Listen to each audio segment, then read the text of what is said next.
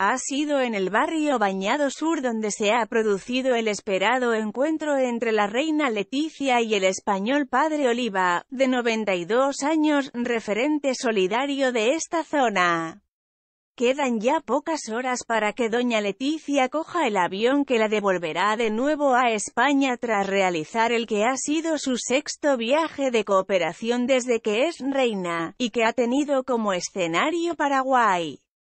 Su Majestad ha estado apenas 48 horas en el país, pero ha cumplido con una extensa agenda que le ha permitido conocer de primera mano la labor de la cooperación española. Si este miércoles sus actividades se llevaban a cabo en Encarnación, una población situada en Itapúa y conocida como la Perla del Sur, este jueves le ha tocado cumplir con varios compromisos en la capital, Asunción, uno de ellos muy emocionante emocionante.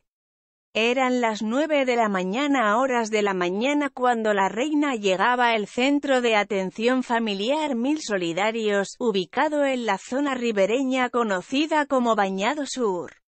Allí la esperaba la primera dama, Silvana López Moreira, quien está siendo su gran acompañante durante su estancia en el país fuera del centro, que trabaja con niñas, niños, adolescentes y mujeres víctimas o potenciales víctimas de violencia sexual, la esperaban varios de sus miembros que han querido conocer personalmente a doña Leticia, quien les ha agradecido. Ha sido precisamente en el Centro Mil Solidarios donde se ha producido el esperado encuentro entre la reina Leticia y el padre Oliva, de 92 años, referente solidario de esta zona.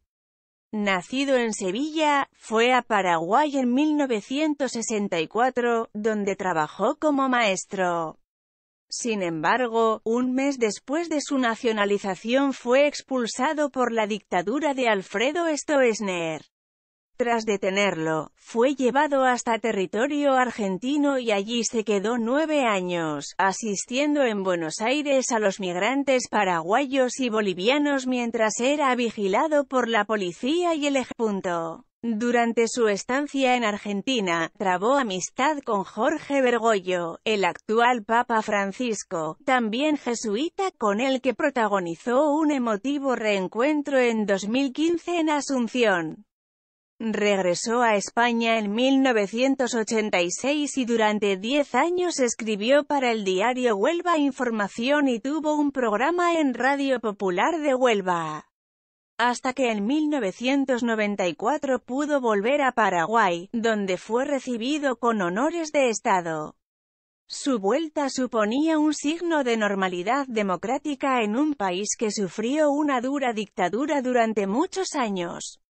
Desde entonces reside en el barrio de Bañado Sur, uno de los más pobres de la capital, y lucha para dar una mejor vida a los paraguayos, quien lo llaman cariño